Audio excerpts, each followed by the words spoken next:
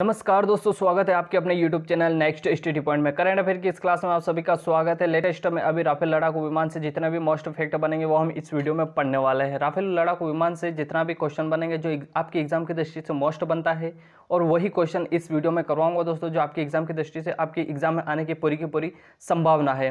तो जब भी राफेल लड़ाकू विमान से यदि कोई क्वेश्चन आएगा तो यहाँ से बाहर बिल्कुल नहीं जाएगा। इन क्वेश्चनों को आप एक बार ज़रूर नोट करिएगा और इनका रिविजन करते रहिएगा, ताकि राफेल से संबंधित बहुत बड़ा मुद्दा है राफेल का। तो राफेल से यदि कोई क्वेश्चन आपके एग्ज़ाम में आता है तो यहाँ से एक भी क्वेश्चन बाहर नहीं जाएगा। तो चलते हैं आज की इस क्लास में जो मोस्ट इम्पोर्टेंट फैक्टर क्वेश्चन रही है राफेल से संबंधित। राफेल विमान भारत ने किस देश से खरीदा है? तो ये तो आप सभी को पता ही होगा, राफेल जो है विमान भारत ने किस देश से खरीदा है? फ्रांस से खरीदा है। फ्रांस से राफेल जो है 7000 किलोमीटर की दूरी तय करके अंबाला एयरबेस पर पहुँच गए हैं। ठीक है दोस्तों, और ये कब पहुँचे, कैसे क्या हुआ, सब आपको आगे डिटेल बताई जाएगी। और इससे पहले मैंने एक राफेल से संबंधित वीडियो बनाकर अपलोड किया था। यदि आपने वो नहीं देखा है तो उसे एक बार ज़रूर देखिएगा। ठीक है, इसकी डिस्क्रिप्सन में मैं लिंक दे दूँगा उससे आप एक बार ज़रूर देखिएगा। ठीक है दोस्तों नेक्स्ट है, राफेल विमान को किस कंपनी ने बनाया है? द साल्ट एविएशन कंपनी के द्वारा राफेल विमान जो भारत आए हैं, उन्हें बनाया गया था और ये कंपनी फ्रांस की कंपनी है, ठीक है दोस्तों? नेक्स्ट है, फ्रांस ने भारत से, भारत, फ्रांस जो है, फ्रांस से भारत ने कितने राफेल विमान का समझौता किया है? तो जो फ्रांस से राफेल का समझौता किया गया था, ठीक है?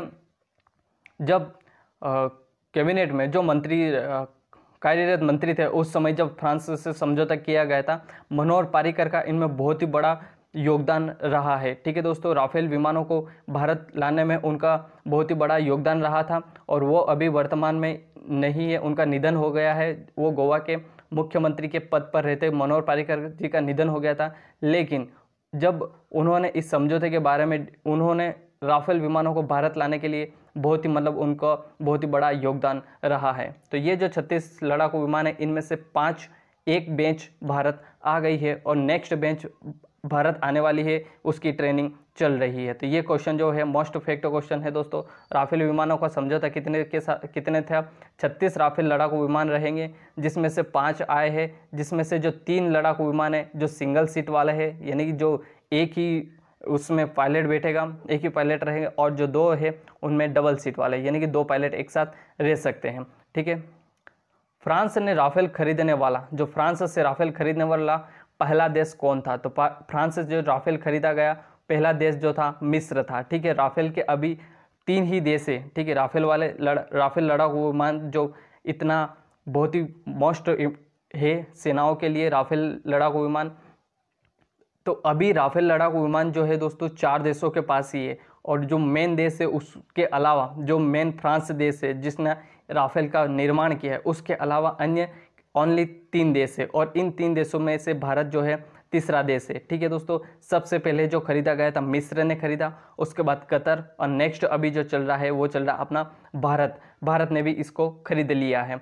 फ्रांस से मिले राफेल विमान किस पीढ़ी से संबंधित है? तो ये जो है चार दशमलव पाँच पीढ़ी आधुनिक टेक्नोलॉजी के साथ फ्रांस ने भारत को राफेल विमानों की चार दशमलव पाँच पीढ़ी के साथ भारत को दिए हैं। ठीक है, आधुनिक टेक्नोलॉजी के साथ रडार और सेंसर के साथ हथियारों से लेस राफेल लड़ाकू विमान जो है भारत आए हुए, आए हैं।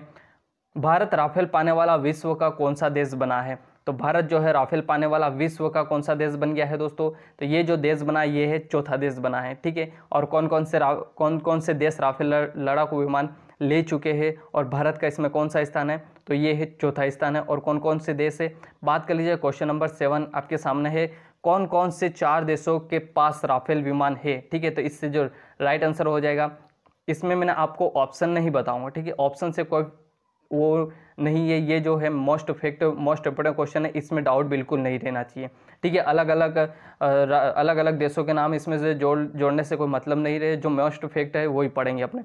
कौन कौन से चार देशों के पास राफेल विमान है? तो राइट आंसर हो जाएगा फ्रांस, मिस्र, कतर और भारत। बात कर ली जाए फ्रांस। फ्रांस तो एक लड़ाकू विमान निर्माण करने वाला है। इसके अलावा बता रहा हूँ दोस्तों, मिस्र जो है पहला देश है जिसके पास लड़ाकू विमान खरीदा गया था। ठीक है, फ्रांस से खरीदा गया था। फ्रांस ने जब निर्माण किया, उसके बाद पहला मिस्र देश है जिसने लड़ाकू विमान खरीदा है। उसके बाद सेकेंड नंबर पर पड़ता है कतर और तीसरे नंबर पर है अपना भारत। लेकिन फ्रांस लड़ाकू विमान के यदि ऑल ओवर की बात कर ली जाए तो चौथा देश जो है, भारत है। राफेल, पाँच राफेल फाइटर जेट का पहला बेंच वायुसेना के किस एयरबेस पर पहुँचा है तो इसका जो राइट आंसर हो जाएगा अम्बाला एयरबेस अम्बाला एयरबेस पर अभी हाल ही में पाँचवा, पाँच राफेल फाइटर जेट की जो टीम है, जो 7000 किलोमीटर दूरी तय करके फ्रांस से 7000 किलोमीटर दूरी तय करने के बाद भारत पहुँची है तो ये पाँच राइफल फाइटर जेट जो है step by step Ambala airbase पर अपना अम्बाला एयरबेस पर लैंड किए हैं और इससे इस लैंड को हैप्पी लैंडिंग नाम दिया गया है और इनके साथ जो मुख्य वरिष्ठ अधिकारी है और चीफ चीफ जो है एयर मार्श एयर के जो चीफ वायुसेना अध्यक्ष है, राकेश भदौरिया और उनके साथ सुखोई विमान 30 के साथ इनका स्वागत किया गया है। ठीक है, सुखोई विमान 30 जब राफेल भारत की सीमा में पहुँचे थे, तब सुखोई विमान 30 ने उनका प्रोटेक्शन के साथ उनका स्वागत किया था और जब ये अम्बाला एयरबेस पर उतरे, तब पायलटों का स्वागत राकेश भदौरिया जी द्वारा किया गया था। ठीक है तो ये मोस्ट इम्पोर्टेंट है आपके लिए। राफेल में कौन सी तीन मिसाइलों का प्रयोग किया गया है? तो कौन सी कौन सी तीन मिसाइलें प्रयोग की गई है? कहाँ कहाँ से कौन सा प्रयोग या कौन सा आधुनिक टेक्नोलॉजी लिया गया ये सब हम इसमें पढ़ने वाला है। स्कॉल्प, मोर मोटियर और हैमर, ये तीनों मिसाइलें जो है राफेल में लगाई गई है। स्कॉल्प मिसाइल बहुत मोस्ट इंपॉर्टेंट है। मोटियर भी बहुत ही महत्वपूर्ण राफेल के लिए साबित है। हेमर भी मिसाइल बहुत ही मोस्ट इफ़ेक्ट है इसका। राफेल के लिए बहुत ही मोस्ट चर्चा में रहती है हेमर में, हेमर मिसाइल। ठीक है? तो ये तीनों मिसाइल जो है राफेल की एक बहुत ही बड़ी ताकत है। और यदि किसी भी वायुयान, यदि किसी भी लड़ाकू विमान सॉरी लड़ाकू विमान की यदि कोई ताकत का पता लगाना हो तो उसकी मिसाइल और उसमें लगे सेंसर से ही उसकी ताकत का पता चलता है।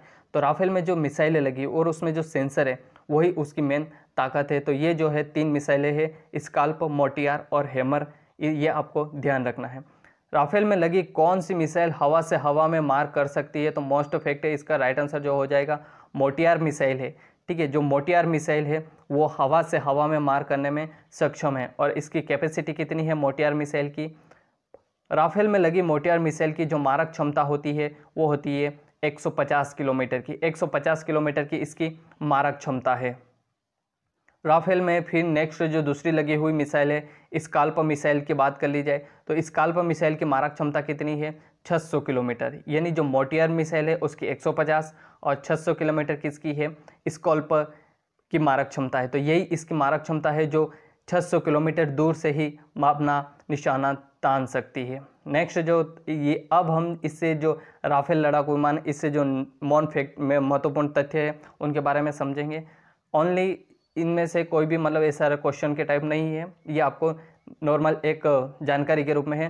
फ्रांस से उड़ान भरे राफेल लड़ाकू विमान भारत कब पहुँचे हैं? तो ये पहुँचे 29 जुलाई 2020 को। और कहाँ पहुँचे? अंबाला एयरबेस पर लैंड की है। और इस लैंडिंग को नाम दिया गया है हैप्पी लैंडिंग। क्या नाम दिया गया? हैप्पी लैंडिंग नाम दिया गया है। नेक्स्ट जो है, यह राफेल विमान। ठीक है, राशन नहीं, राफेल विमान पल भर में दुश्मनों के ठिकाने को नष्ट कर सकता है। क्या कर सकता है? पल भर में दुश्मनों के ठिकाने को नष्ट कर सकता है। राफेल लड़ाकू विमान जो है, चार दशमलव पाँच पीढ़ी के अभी मैंने आपको बता दिया है। राफेल लड़ाकू विमान के आधुनिक टेक्नोलॉजी के साथ चार दशमलव पाँच पीढ़ी का है, ठीक है, जो फ्रांस से भारत राफेल लड़ाकू विमान लाया गया है, वो चार दशमलव पाँच पीढ़ी का विमान है। इसमें लगा जो हेमर मिसाइल है, ठीक है, हेमर मिसाइल की कीमत यहाँ पर जान लीजिएगा, सात लाख रुपए है, ठीक है, कितना है? सितर लाख रुपए है। सॉरी दोस्तों सितर लाख रुपए हैमर मिसाइल की कीमत है। एक हैमर मिसाइल की कीमत कितनी है? सितर लाख रुपए। और एक राफेल की की कीमत 1200 करोड़ रुपए है। ठीक है दोस्तों, कितनी है? 1200 करोड़ रुपए। तो मोस्ट इंपोर्टेंट है ये।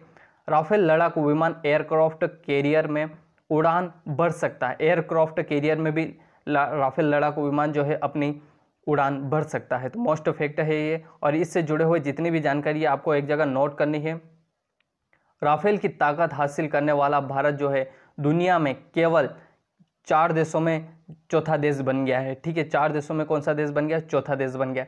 पहला फ्रांस, जिसने राफेल का निर्माण किया। सेकेंड नंबर पे है, जिससे पहली बार मिस्र ने राफेल का जो है, किसी भी देश की तुलना में की जाए तो पहला देश है मिस्र, जिसने फ्रांस से राफेल लड़ाकू विमान खरीदा। सेकंड है कतर, जिसके पास राफेल है। और थर्ड अभी भारत बन गया है। यानी टोटल मिलाकर चौथा नंबर का देश जो बन गया है, राफेल पाने वाला। भारत बन गया है।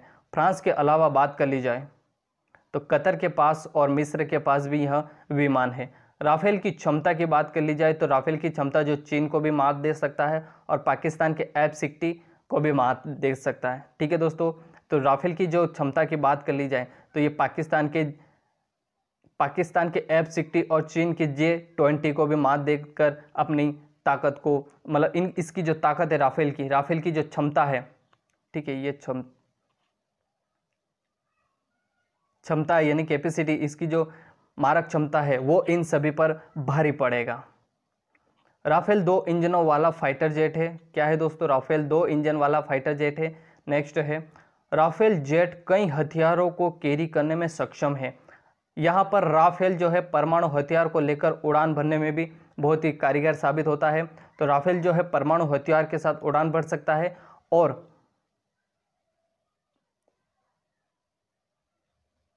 सॉरी दोस्तों। उड़ान भरने में सक्षम है और हथियारों को कैरी करने में भी बहुत ही महत्वपूर्ण है।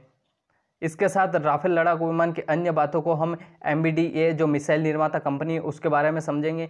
यूरोप की मिसाइल निर्माता कंपनी है एम यानी कि मिटियार और बी योंड विजुअल रैग एयर टू एयर मिसाइल की बात कर ली जाए और हवा से ज़मीन में मार करने में सक्षम जो स्केल्प क्रूज मिसाइल है, वो राफेल में लगी हुई है। स्केल्प क्रूज मिसाइल कहाँ की है दोस्तों? राफेल में जो लगी हुई, वो यूरोप की मिसाइल निर्माता कंपनी एमबीडीए के मिटियोर और beyond visual range visual range to air to air missile और हवा से ज़मीन पर मार कर सकने वाली सक्षम स्केल्प क्रूज मिसाइल राफेल में लगाई गई है। अगला जो फैक्ट है, इससे मोस्ट मिसाइलों के बारे में भी जानकारी।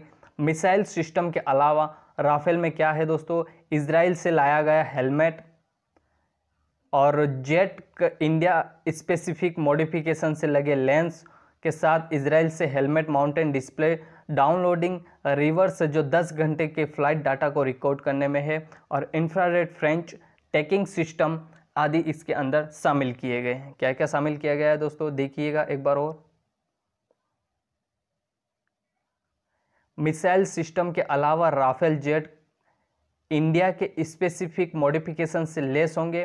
और इसमें इसराइल के helmet mountain display, downloading, reverse और 10 घंटे की फ़्लाइट डाटा के साथ रिकॉर्डिंग, इंफ्रारेड सर्च और ट्रैकिंग सिस्टम जो है इसमें लगाया गया है। 10 घंटे का भी आप फ़्लाइट डाटा का रिकॉर्ड रख सकते हो, जो है ये इसमें राफेल रडार, राफेल विमान में ऐसा सिस्टम, जो टेक्नोलॉजी सिस्टम दिया गया है। डाउनलोडिंग, रिवर्स जो है 10 घंटे तक का आप देख सकते हो। Recording infrared search tracking system भी लगाया गया है। नेक्स्ट जो है, राफेल विमान की भार वाहन जो क्षमता है, वो है पिचहत्तर सौ यानी सात हज़ार पाँच सौ किलोग्राम है। और यहाँ अधिकतम क्षमता जो है, चौबीस हज़ार पाँच सौ किलोग्राम तक के वज़न को भार के साथ साठ घंटे की उड़ान बढ़ सकता है। और एक जो वायुयान, एक जो सॉरी एक जो एयरक्राफ्ट एक जो एयरक्राफ्ट राफेल है, ये एक से दूसरे को हवा में ही एयर जो है, हवा में ही अपनी लड़ा, लड़ाई के दौरान एक दूसरे को फ्यूल दे सकते हैं। तो ये भी इनमें एक बहुत ही बहुत ही आधुनिक टेक्नोलॉजी के साथ ये फैक्ट है इसका राफेल का, कि है हवा में ही एक एक एयर जो है, एक वायु जो विमान है, वो दूसरे विमान को ऑयल जब फ्यूल को दे सकता है, ठीक है? फ्यूल आदान प्रदान कर सकते हैं। राफेल जो है पंद्रह से सत्ताईस मीटर लंबा है, ठीक है? इसकी जो लंबाई है पंद्रह से सत्ताईस मीटर और इसकी जो ऊंचाई है पाँच दशमलव तीन मीटर की है। पंद्रह से सत्रह, सत्ताईस मीटर इसकी लंबाई है और फाइव पॉइंट थ्री मीटर इसकी ऊंचाई है। और इसकी जो फ्यूल की कैपेसिटी है, ये बहुत ही मोस्ट फैक्ट बने, मोस्ट इम्पोर्टेंट है यहाँ से। सत्रह हज़ार किलोग्राम की, सत्रह हज़ार किलोग्राम की इसकी फ्यूल कैपेसिटी है। अगला जो है राफेल का रडार 100 किलोमीटर के भीतर एक बार में 40 टारगेट का पता लगा सकता है। इससे दुश्मन के विमान का पता चले बिना भारतीय वायुसेना उन्हें देखने में सटीक अपनी सटीकता है। ठीक है, देखने में सटीकता है, देख सकती है। तो राफेल का रडार जो है 100 किलोमीटर तक के 100 किलोमीटर के रेंज में, यदि उसके रेंज में अधिक से अधिक 40 टारगेट का पता लगा सकता है और उन्हें आसानी से देखकर अपने दुश्मन की क्षमता को देखकर उस पर निशाना साध सकता है। ठीक है तो ये जो है भारतीय वायुसेना में उन्हें देखने की जो भारतीय वायुसेना के अलावा जो मतलब जो भी पायलट वायु उसमें बैठा हुआ है, राफेल लड़ाकू विमान में, चाहे भारतीय सेना का हो या अदर कोई भी, ठीक है? तो उसके जो राफेल की बात है ये, भारतीय वायुसेना जो है मोस्ट फैक्टर की बात है, पर ये जो क्षमता है, ये राफेल की क्षमता है कि ये जो है 100 किलोमीटर के भीतर 40 टारगेट को तो को देखकर उस पर निशाना सान सकता है। ये भारतीय वायुसेना के साथ साथ मोस्ट इफ़ेक्टिव यहाँ पर क्वेश्चन है, जो अब भारतीय वायुसेना में भी दिखाई देगा। राफेल विमान के पायलटों की team, leader group, captain Harkirat Singh, सत्रहवा squadron golden arrow के कमांडर ऑफिसर। ठीक है, यह जो है आपकी एग्ज़ाम में मोस्ट इम्पोर्टेंट है और ये इतना वेरी वेरी इंपॉर्टेंट है कि यह आपकी एग्ज़ाम में हंड्रेड परसेंट पूछा जाएगा। राफेल विमान के जो पायलटों की पहली टीम जो लीडर पाँच लड़ाकू विमान के साथ जो पहुँची है लीडर ग्रुप उसके कैप्टन थे कैप्टन हरकिरत सिंह। ठीक है, कौन थे? कैप्टन हरकिरत सिंह, जो सत्रहवा, सत्रहवीं जो स्क्वाड रोगन थी, उसके गोल्डन एरो के कमांडर ऑफिसर थे। ठीक है तो वीडियो अच्छा लगा हो तो लाइक शेयर सब्सक्राइब और प्रेस द बेल आइकन दबा देना ताकि आने वाली हर वीडियो का नोटिफिकेशन आपको मिलता रहे। मिलते हैं नेक्स्ट वीडियो में। तब तक के लिए जय हिंद, जय भारत।